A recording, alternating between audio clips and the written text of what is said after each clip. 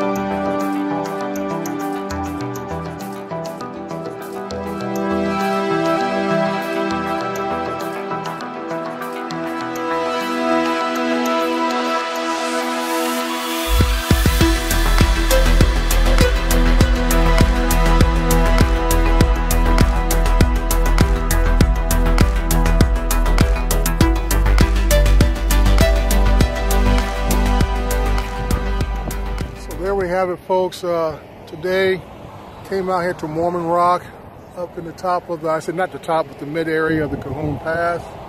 Uh, took out the Maverick Pro and also the Maverick 2 Pro. And right now, the Maverick 2 Pro is about to land, and uh, you'll see it in the video right here. Just hang on.